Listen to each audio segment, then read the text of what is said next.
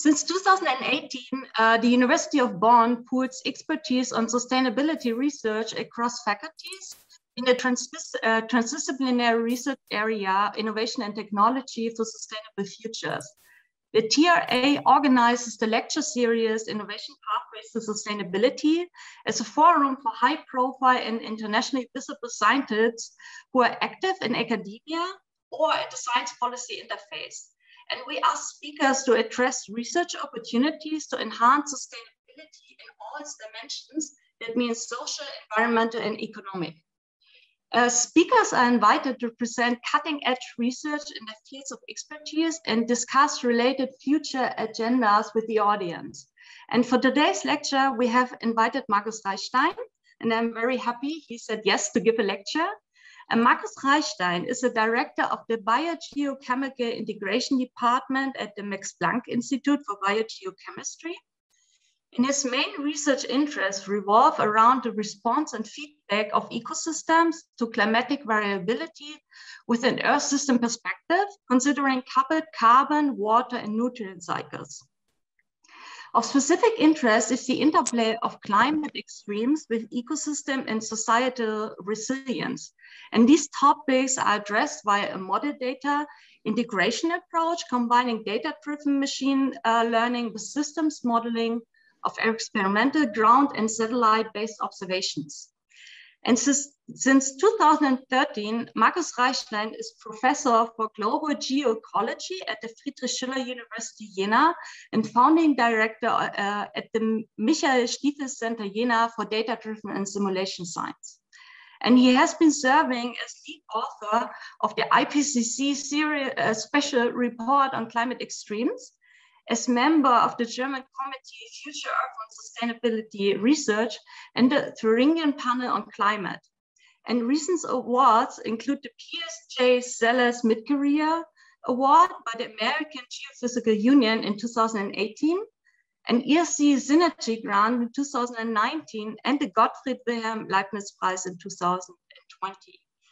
And with this, I hand over to Markus. I, the floor is yours.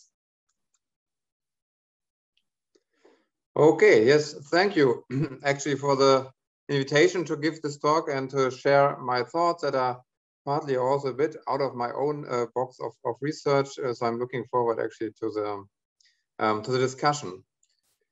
Um, yeah, so the whole context of the talk is certainly as probably some of the talks in your uh, in your series on on climate change. So I will not uh, don't want to talk too much about climate change um, itself but maybe uh, take the opportunity to point you to a very, very new fact sheet that just came out this year from the Leopoldina, where I was um, able to contribute. And just as a reminder, we are living in, in exceptional times. Uh, the CO2 concentration of the atmosphere is much higher than during the last almost 1 million years. Now we are surpassing, uh, four, we have been surpassing already 400 ppms and uh, the, the COVID crisis actually doesn't change that very much. And that leads, apart from other facts, uh, factors, um, to change in the, in, in, the temperature. And globally, we have already risen more than one degree, and in Germany, uh, already um, two degrees Celsius since 1880. Another thing that we know from physical modeling with high emissions the warming will continue. And uh, we have this 1.2 or 2 degree target and people sometimes ask, oh, doesn't sound too much. But it is of course very important to know that uh, the warming is not uniform. Uh, the land is warming more strongly than the ocean and the high latitudes are warming uh, more strongly than the low latitudes, as you can see here on the right hand side very clearly in the, in the, in the high emission scenario. What is maybe even more important and often less known, um, that it's probably more impactful um, the changes in the water cycle. Uh, and we see here um, projections from the SREX IPCC report um, how, how the water uh, cycle might change in terms of cumulative dry days on the left-hand side or soil moisture anomalies on the, on the right-hand side. And what is projected there is that in particular areas, areas that are already now uh, semi-arid, will possibly uh, become um, even drier. And this is a major concern, um, I would say, and, and uh, bigger than just the global mean uh, temperature. Of course, um, the water cycle is also a bit more uncertain to, to model. Um, but the next slide, I want to show you my, one of my favorite plants is uh, rosemary, as you can can see, and why I'm showing that. First of all, I really love it. I like like to cook with it.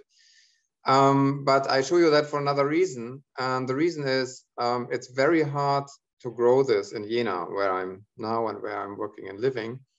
Um, and the reason for that is not the mean temperature or not the mean precipitation, um, but it is um, that every five to 10 years, for example, this year, uh, there's coming the Siberian cold uh, to Jena, quite continental climate here, and comes with minus 20 degrees.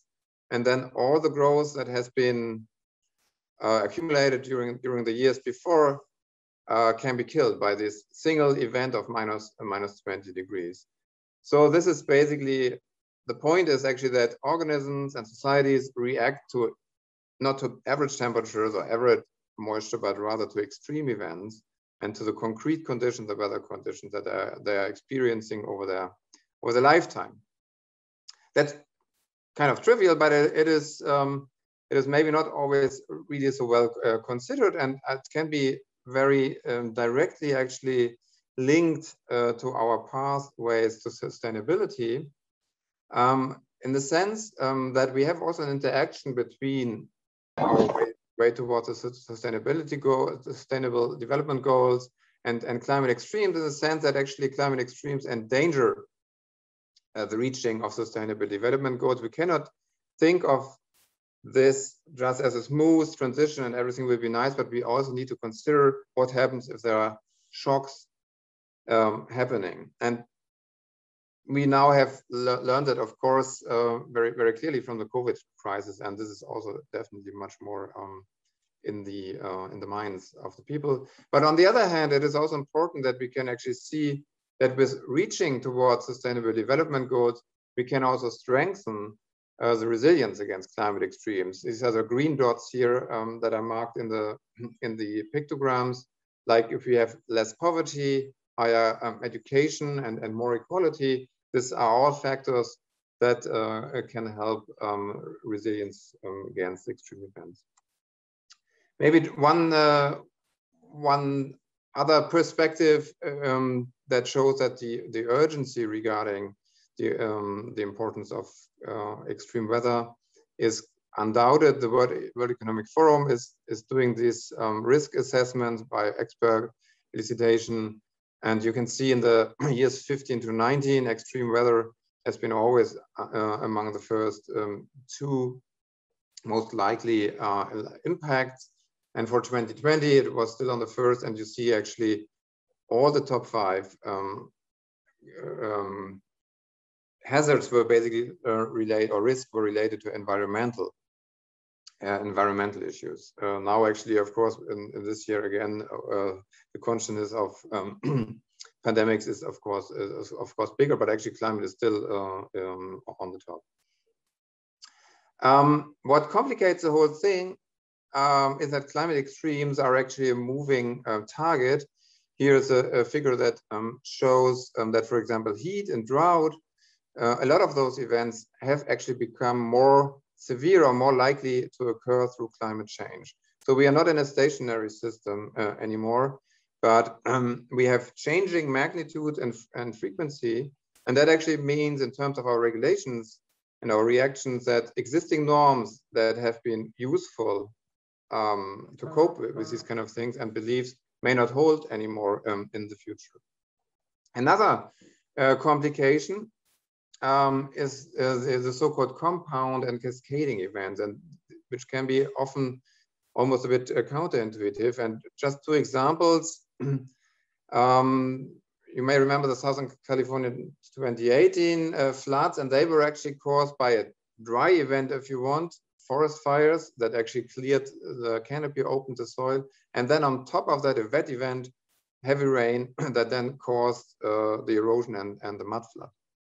Or similarly, the Northern California 17 fires, um, were actually first caused uh, by, by a wet winter, which caused dense vegetation, so a lot of fuel that can burn then a dry and hot summer, which desiccated the fuel, uh, the biomass. Uh, and in addition, then as a third component, strong winds that then altogether led to these catastrophic fires. And of course, um, these cascading, uh, these kind of cascades that bring very strong events um, are first of all hard to anticipate and hard to model, uh, but then have also very, very large um, impact. And these impacts are also relevant, as you can see here, in highly industrialized um, countries.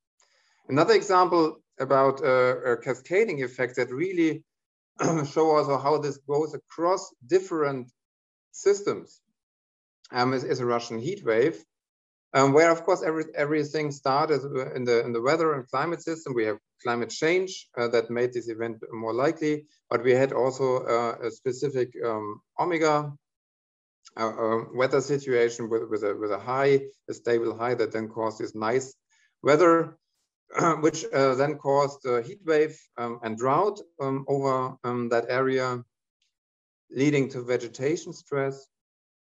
And the dried out vegetation again was very susceptible to fire. So we had strong uh, forest fires that then caused um, air pollution, uh, particular, of course, important in the, in, in the cities. And only the, actually the combination and synergy of the air pollution together with a, with a heat wave, so two stressors actually caused then this strong uh, mortality um, that um, affected more than 10,000 uh, people in, in Russia.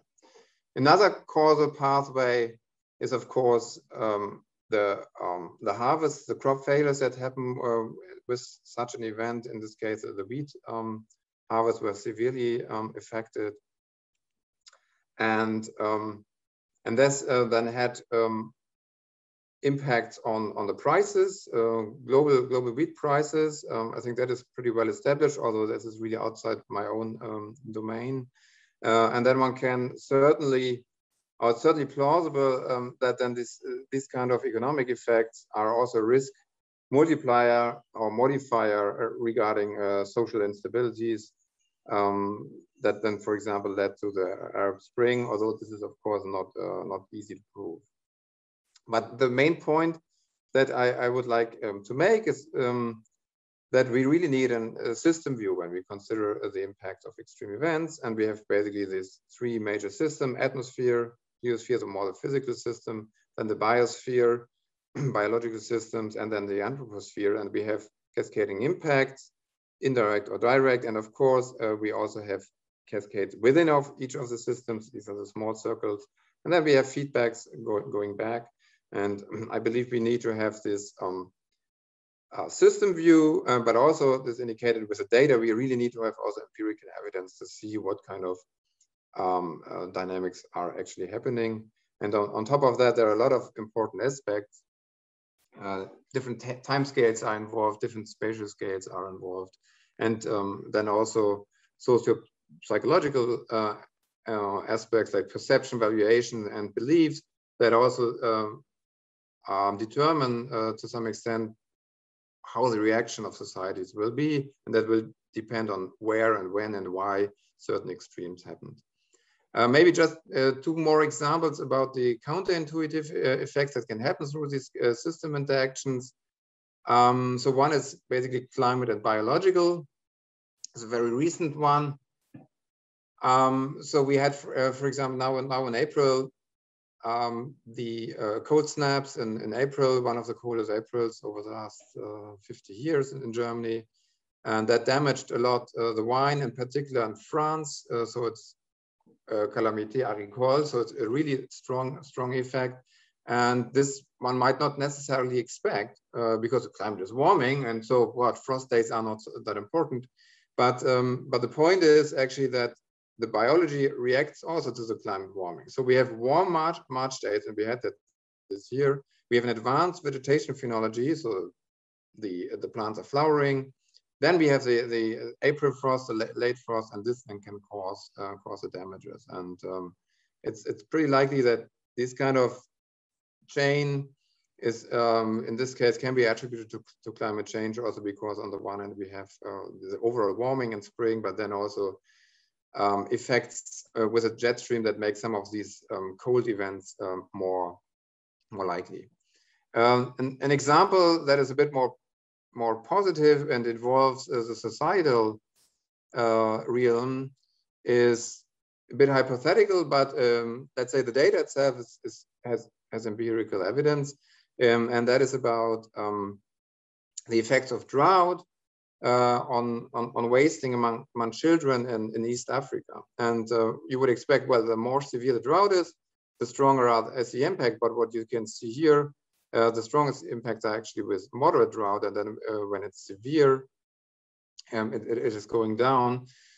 and the hypothetical uh, interpretation of this that we also have system interaction here between the natural systems and the uh, societal systems. So first of all, of course, more drought, would uh, means uh, malnutrition risk, and that means wasting uh, and possibly even uh, mortality.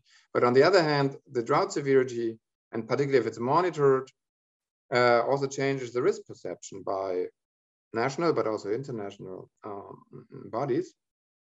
Uh, and that can then trigger help, more help, and then we we basically get a negative feedback that the help can actually have a impact on, on, on reducing the effects um, of, of malnutrition. So these are just a couple of examples where really the system view um, is, is important. And of course, the system view is also um, is perceived and is also has been also analyzed again by the World Economic Forum regarding global uh, systemic risks. Um, and here uh, also extreme weather and, and natural environmental risk play an important role here. This um, triangle with the uh, water crisis and overall climate action failure that then links um, to socioeconomic um, aspects like involuntary migration, social instability, and failure to govern actually the, um, um, the society, which can then lead to regional or, or state collapse. So this is also pretty well, at least uh, the risk is, is seen, is not, uh, is not uh, necessarily new, uh, the systemic risks. One, uh, maybe, again, empirical evidence that is quite plastic on, on this is um, that, for example, we have a strong concentration, if you want, of the deaths from natural hazard uh, related disasters in, in the top um, 30 fragile states, which is uh, much much less than 20% of um, of the states. So um, the concentration in these uh, fragile states. So it is it is really important um, to link actually this these three uh, three major major frameworks: the Paris Agreement that really focuses on climate, the Sustainable Development Goals that, that is broader and trying to address many dimensions of sustainable development, including societal ones, uh, and then uh, the Sendai framework that is focusing on, on, on disaster risk reduction. I think if we bring that together, we basically will have risk-aware sustainable development, and that's something we should really really strive for. It has been also um, acknowledged, for example, by the global um, risk um, assessment re report on, on risk. But it is interesting, uh, and well, we developed these, these things before Corona, um, that, uh, that, that risk awareness actually still needs to be, be, be improved. For example, if you look into the German sustainability strategy, the word climate extremes and related words actually only appeared three times and only in one of the resorts on the traffic infrastructure, the digital uh, affairs resort. Disaster only was once and only one resort.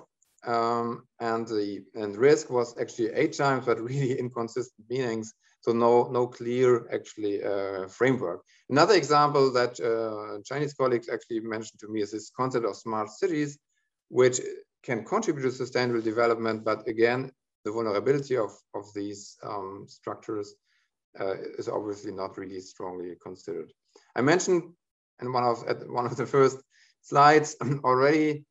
Um, of course, the situation has fortunately changed. Uh, on the one hand, uh, through a I think quite successful consultation process via the uh, Wissenschaftsplattform Nachhaltigkeit, but of course also triggered by the fact that we saw an extreme event not one, not a climate extreme, but a, the pandemic, as you all know, and um, and that triggered actually a lot of new um, perception and conscience regarding uh, the importance of resilience and, uh, and resilient development. So actually the this year's um, development of the German strategy has already is already much improved. Um, so this is good. On the other hand, is of course um, still very uh, challenging and um, systemic risk modeling and trying to understand systemic risk is um, very, very difficult. Um, and I would actually argue that we need more of these uh, system modeling um, approaches like has been done here by uh, IIASA uh, colleagues, which is based on an agent-based models and brought together with a lot of data where on the, one can differentiate between the direct risk, for example, of a flood in this case, and then the interactions between financial institutions, governance, firms, and, and the households uh, that then causes through these interactions um, indirect risk also. And, and here in this case, a combined uh, risk is actually higher than just the direct one. I think we need actually more of those um, of those efforts.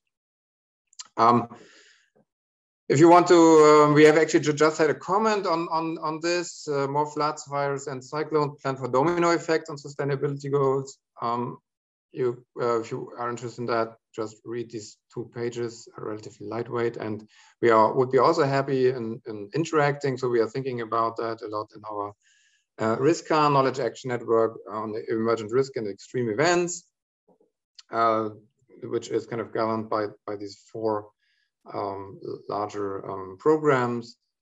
Uh, we have very lively discussions. There are a couple of working groups that all try to address the systemic aspect of their topics.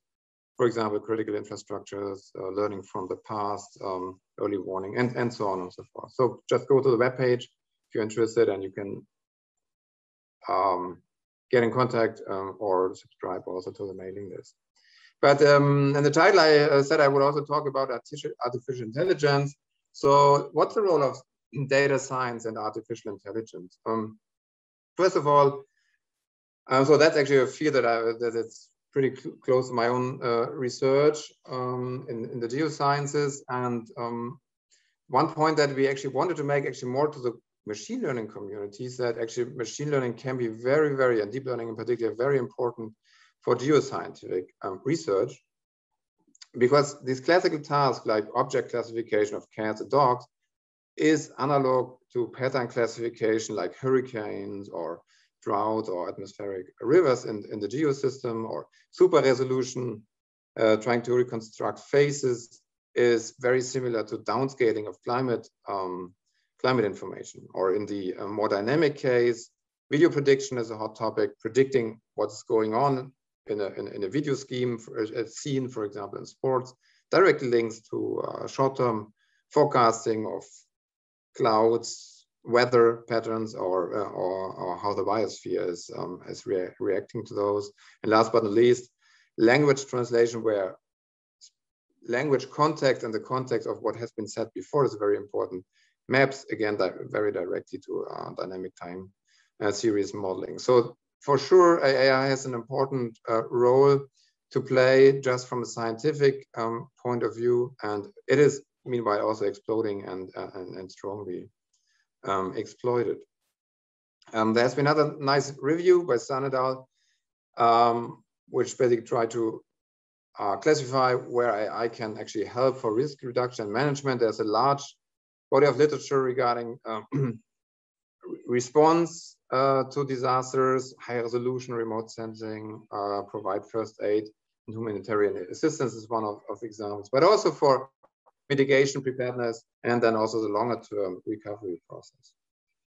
Um, taking a little bit of different angle, I, I would actually argue from the methodological point of view, maybe use of machine learning can be really helpful in three domains. And I will briefly uh, address those. Um, on the one hand is understanding causes and conditions for impacts and disasters. So looking at past impacts, so more the understanding. Then the prediction and forecast, and particular local forecasts, um, and particularly also non-physical impacts that are not so easy to model physically. And then last but not least, also communication. So on the first one, can give you an example from, from the, from the uh, impact modeling uh, of natural systems of the biosphere.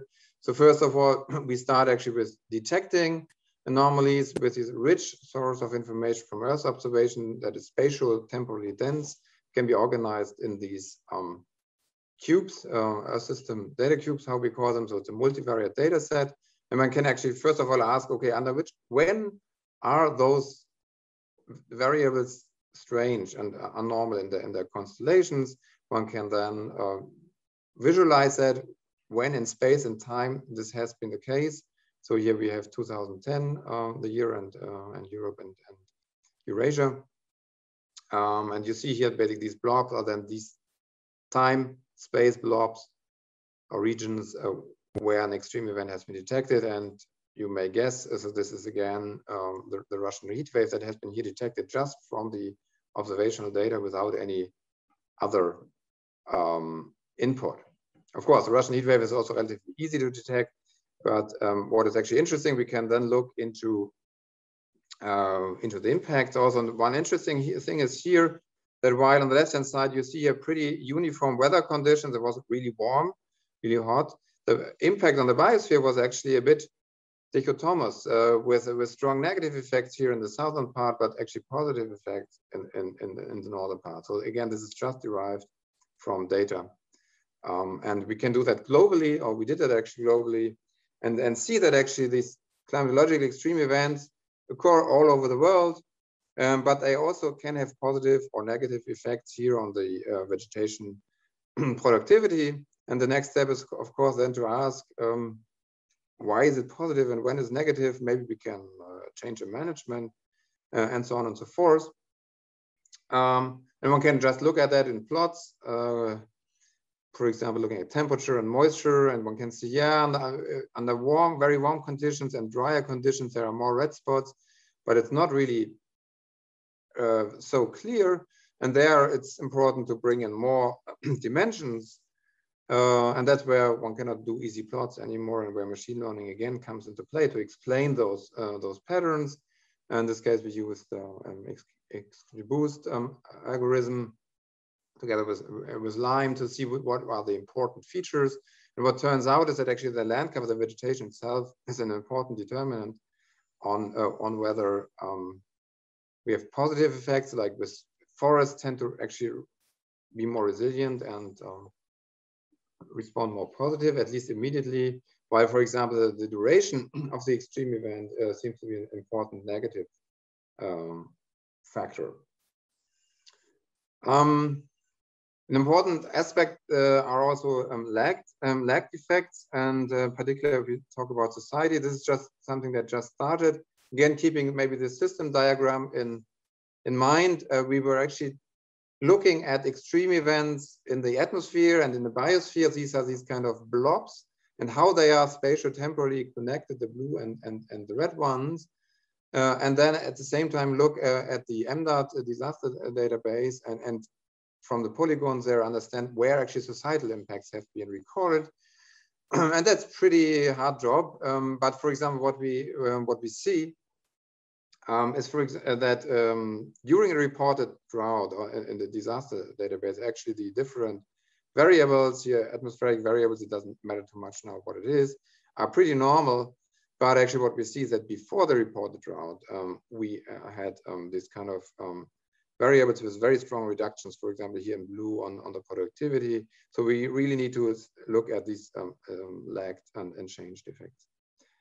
Um, it's also uh, looking at macroeconomic societal data. Machine learning can also help uh, help a lot. So one can actually do dimensionality reduction to bring, for example, the World Bank, the more than 500 World Bank indicators into a few interpretable uh, dimensions. Um, where we can here, for example, see how Haiti um, developed along these dimensions or, or Greece. This is of course not caused by a natural event, but 2008, um, the crisis, how, how actually then the second dimension goes uh, down from, from a previous increase. So actually the machine learning methods are there. And I think the limiting factors are actually the fairness of the data and actually the resolution of the data because statewide uh, information is not always um, the most um, useful um, for, for interpretation. Um, so the second part is prediction and uh, forecast of impacts, where I can help um, a lot. And this has been also recognized in particular by the humanitarians.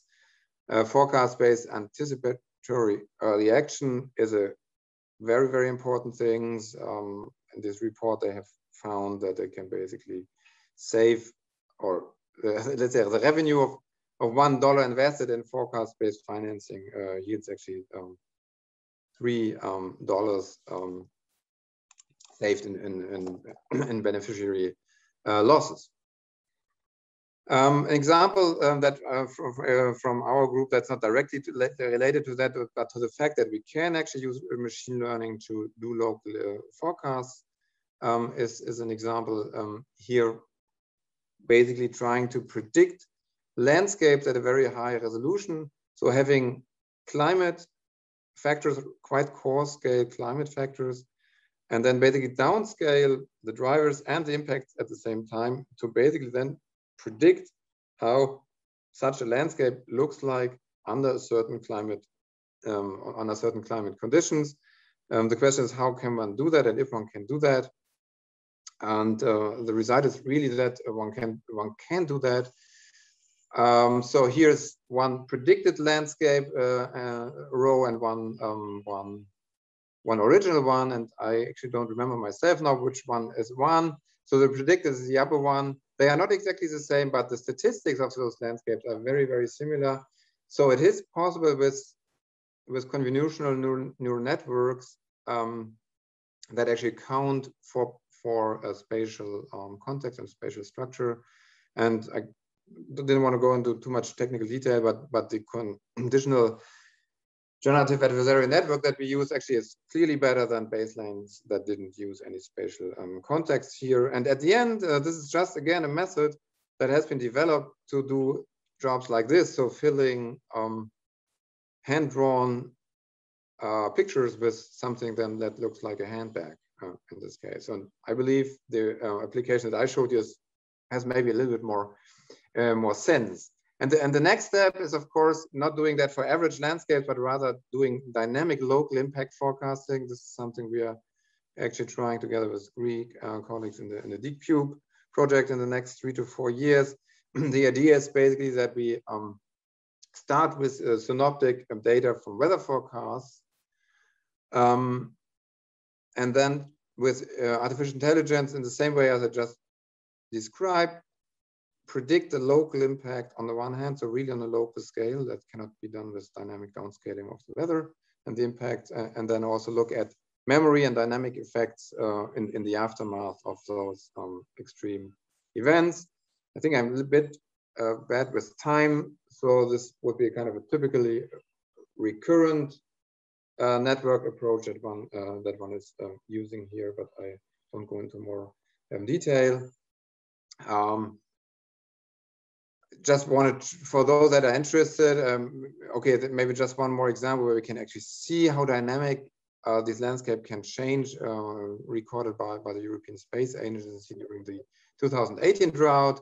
Within a month, uh, this is a change um, of uh, how the vegetation went from green to brown. And then, of course, we have very strong um, local uh, effects also. And um, currently there's, it, it is a very challenging task. And so we have a challenge out there, EarthNet 2021.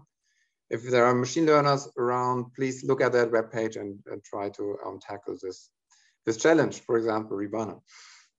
Um, I didn't talk much about the problem, of course, we don't really necessarily always get understanding and physical consistency. That's a general problem if you just use deep learning. Uh, we can have a discussion about that if you, if you like. But I would like to make the, the last point where machine learning can help. And I think that's that's maybe a undervalued thing. It's it's about communication and visualization.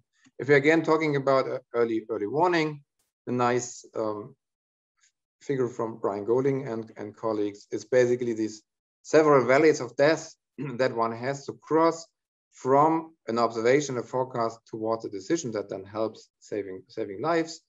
And uh, all of those aspects that concern different disciplines is really is really important. And here, yeah, or actually in all of those can uh, machine learning can also play a role. And I just want to make the point, uh, psychological effect that one can uh, get maybe.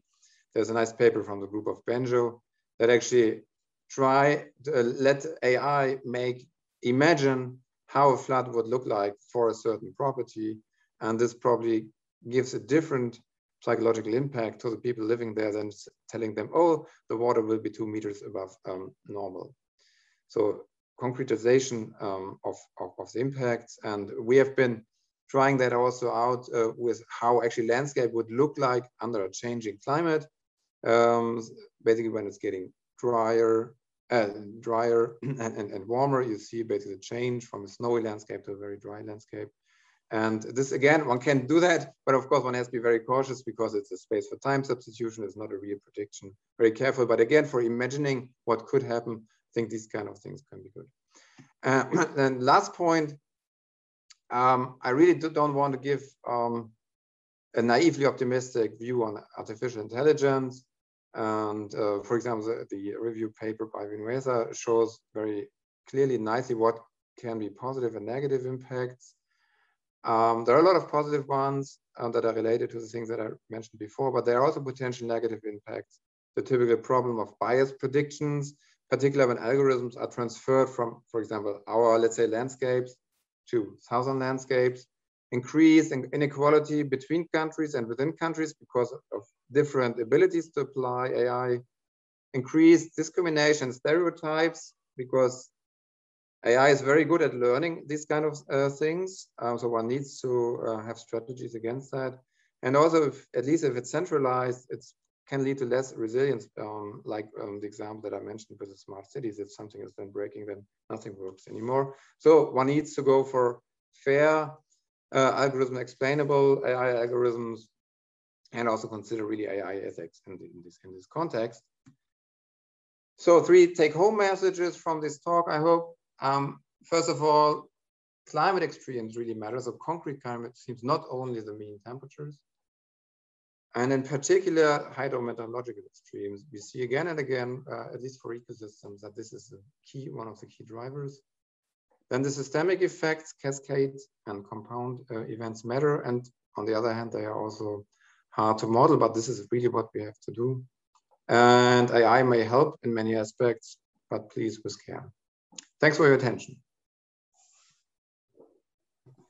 Yeah, thank you very much for the interesting talk. And I will definitely have a look into the data set you mentioned that uh, I didn't know it. and okay, so the floor is open to uh, for questions.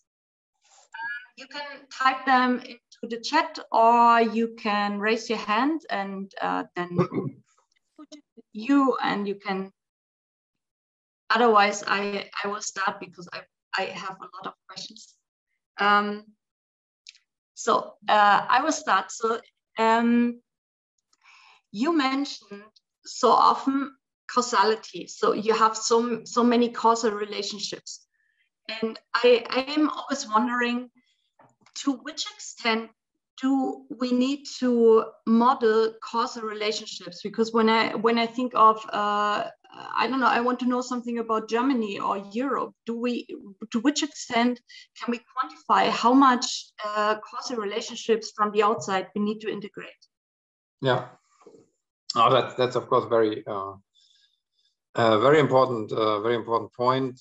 Um, um, one, uh, so the, let's say the classical AI just exploits at the end associations and correlations. Uh, um, but if you want to see how interventions actually work, we do need causal um, causal modeling. And there are two ways. I mean, one is really causal inference from the data, which is also a very um, active research field with, with many different methods developing. I mean, Jakob Runge had a, um, actually a perspective paper, same time as our, paper on deep learning.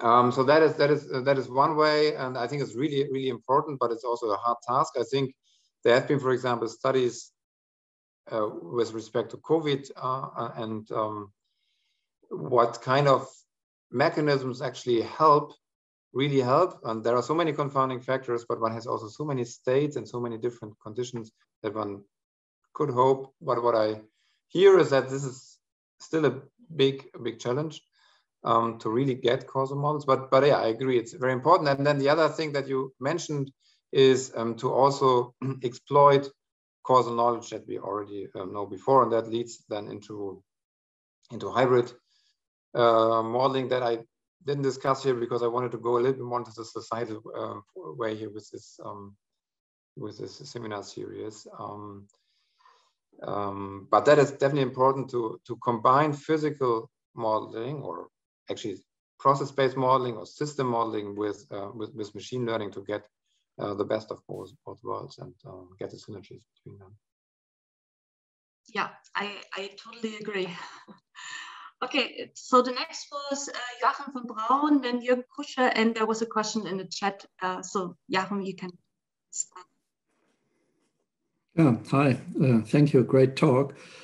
Um, my question relates to uh, modeling trade-offs. Um, when you think of uh, uh, um, big risks, extreme events, um, let's say you consider from an economic and people perspective three options. Um, insurance, um, which actually may uh, foster risk, risky behavior. Um, investing in technology for adaptation or investing in mitigation. Um, and so um, what can you say about modeling trade-offs and synergies rather than um, observing causalities here and there? I'm pressing you towards policy modeling. Thank you.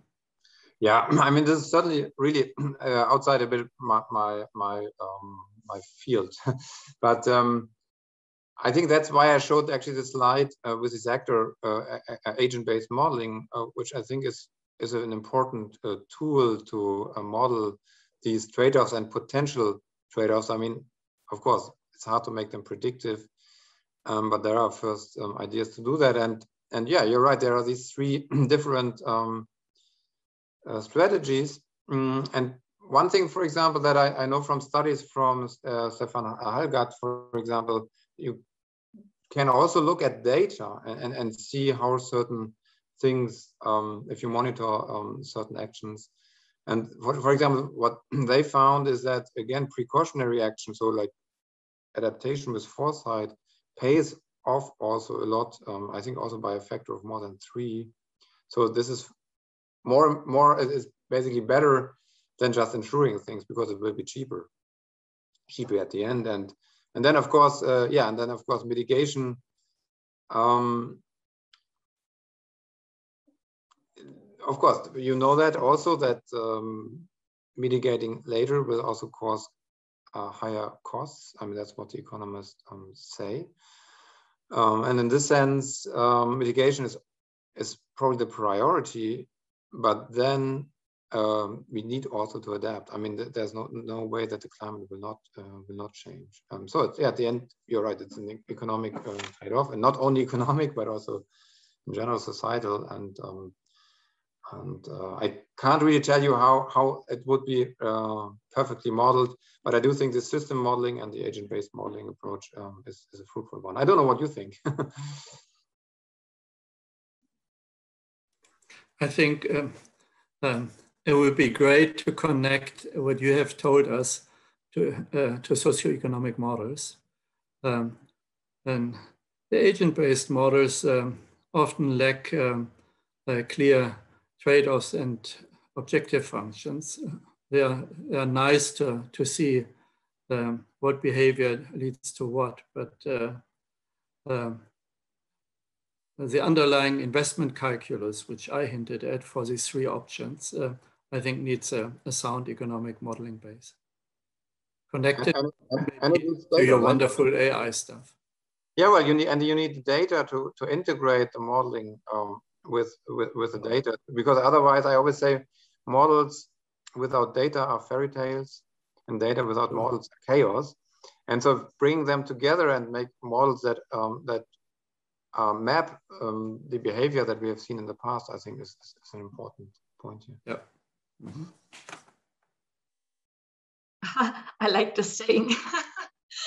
okay, uh, Jürgen Kusche, you have a question.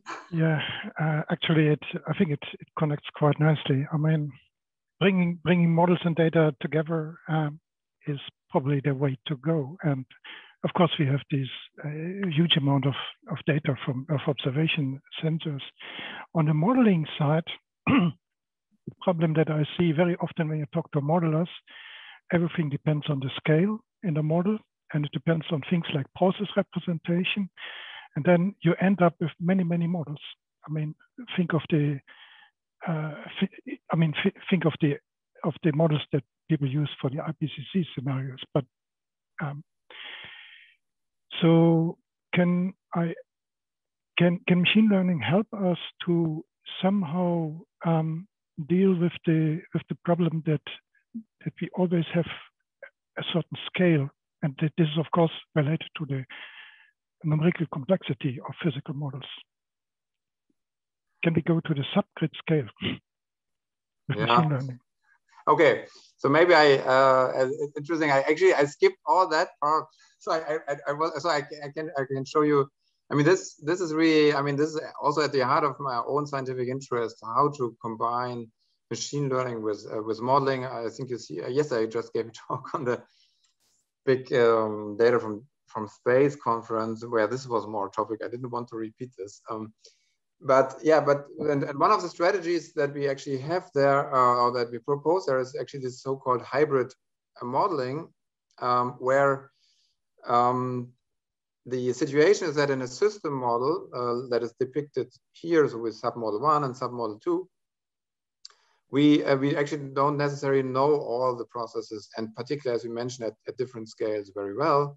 And so the idea is if we are if we don't have a good theory or not good uh, scaling, then replace such a submodel with, with, with a machine uh, learning approach and put the output of this machine learning approach into, into, into the next submodel that is then again more strongly uh, more strongly physical. And, and the same thing is actually true for, for this parameterization.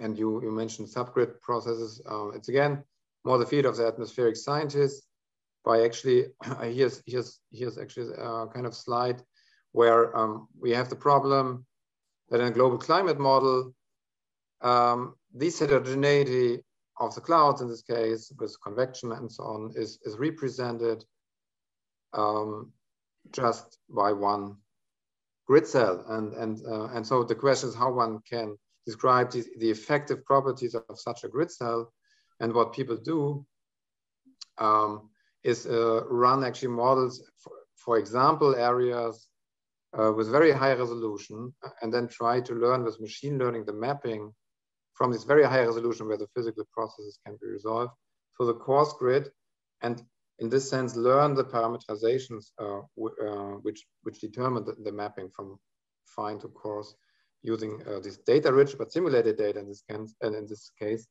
uh, data-rich um, approach with, with uh, machine learning. I don't know, that, maybe that, that answered your question, but yeah, totally. I mean, the this integration of, of models and data and, and using machine learning in, uh, is, is, is, very important. Um, and maybe I have, should have changed this, the, the talk a bit to emphasize this. Thank you. Yeah, thanks. Uh, uh, Jan, you have a question. Yeah, I find that topic uh, extremely exciting. Uh, I've been in several projects where people try to link biophysical models to economic models, and I'm about to be in a new one led by Jürgen, who just asked the previous question. And, and I'm wondering whether this idea that you propose is a hybrid model, let's say, where you, within some biophysical model substitute parts that don't work well with the machine learning approach could actually also work for that goal. Um, because we have, as economists, we often have that problem that we, we, need to optimize. And uh, to optimize over a biophysical model, we need uh, uh, hundreds of thousands of iterations. But these models sometimes take a day to run. Yeah, so no way you can optimize that. Um, so is there a way to maybe generate data sets uh, from these biophysical models and then use machine learning to basically create a meta model um, for that particular purpose. And then which runs much faster than the actual model. So basically also use the two couple models. Is that something that you have been aware of or seeing or doing or at least could yeah i think that uh, yeah i think that that is actually um, certainly this is this is one, one important uh, thing that's basic model emulation uh, where you where you emulate for example in this case a biophysical model and try uh, and and, uh, and speed it up by that um, and that's for example done a lot uh, also in in remote sensing for retrieving or for simulating the atmospheric transfer of radiation which is also pretty complicated and can take a lot of time and approximate that with uh, with a machine learning approach um, so I, I think um, I have, I'm not aware that this has been really done in, in, in um, the context of um, uh, e economic modeling or coupled e economy uh, biophysical modeling. But actually we are proposing something similar in a more climate related modeling um, project that is starting um, this, this summer. So maybe we can talk. I, I would be interested. Mm. Great, let's talk. mm. that sounds good.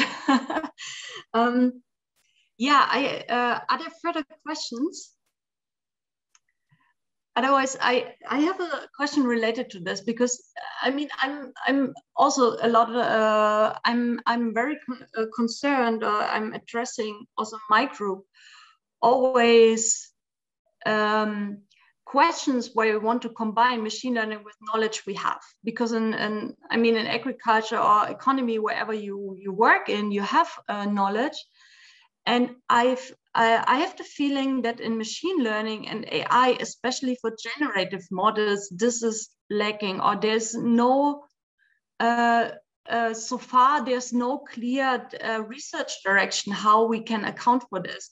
You um, at, at, one slide you showed conditional GANs, so uh, which are really good in generate a scenario in the future or how uh, something will look like when you when you add uh, a specific environmental factor. But I'm I'm wondering how can you account for physical consistency or scientific, even scientific consistency in such models. So I don't see this yet in research. Naja, um, so the the the the hybrid uh, modeling is a little bit exactly uh, trying to address this this um, this issue. I don't know if, if you, um, so, okay, sorry if I give you another example, uh, but I think uh, since obviously you're uh, all very interested in the in part. Uh, um, it was just for the for the generation. It's uh, for classification. Okay, for the generation, I think, but these are I think two different questions. So one is uh, okay. I think one part is so. For example, we have here a, a hybrid global hydrological model. Um, which where we have the basic physical equations, in this case, pretty simple water balance equation, like here the groundwater is updated with um, uh, from the old state with the base flow is subtracted, the recharge is added, and so on and so forth. So really, uh, equation that makes sure that everything is physically consistent and the mass is conserved. Uh, and then we have a neural network that, for example, tells um, us how the precipitation channels into the different compartments. So here we have um, um, this alpha QF, so how much is runoff quickly, how much is recharging the soil moisture, and the third one is uh, how much is recharging the groundwater. These, through the softmax, for example, they all will uh, be between one and, or they will add, add to one, so it's physically clear, um, it will be adding up to one. Uh, and then it, we make sure that there's no uh, no, no hiccups that can happen with a pure uh, statistical model which doesn't know any physics. So that's really the idea of, of the hybrid modeling. But then the second question is, and I think that's an important one, and I'm I'm actually at yesterday discussion how, how we deal with it better is uncertainty and probabilistic uh, modeling in, the, in this context.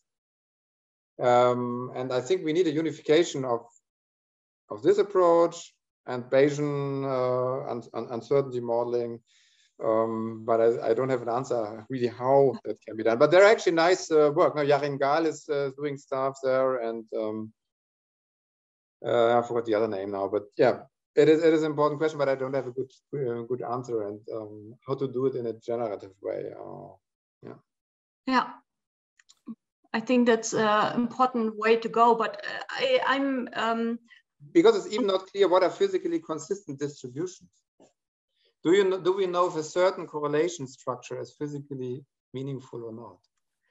I mean, at this point, I think uh, there are so many uh, areas, maybe explainable machine learning can also come into play, where we just uh, search for patterns uh, where we don't know yet that they are physical, consistent, or maybe AI can help us to, to find uh, rules uh, of physical yeah. rules which are not okay. known to us yet, or to just to formalize them and find new definitions. And I, I think that's, uh, yeah. Uh, as you pointed out, uh, we should go in the direction of that there's an interplay between uh, knowledge we already have and uh, machine learning.